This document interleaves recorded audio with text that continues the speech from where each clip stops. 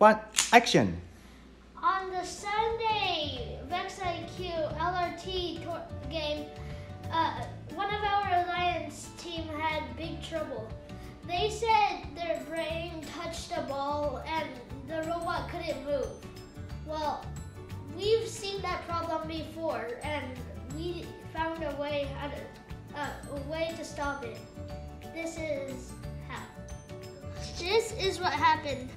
Their ball, the ball touched the brain, and it, and the robot couldn't move anymore.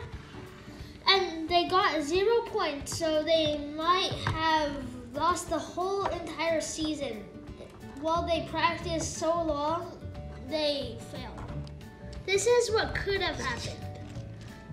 Except for they did not add this part. This blocks the balls from touching the brain. It is very unlikely for the balls to get up on this and still touch the brain. As you can see, the brain is still on and the ball has not touched any buttons.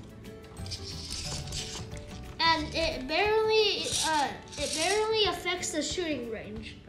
We have more ideas and fun things to share.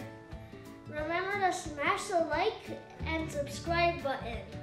Flying cheese makes Vex World a better place. Super.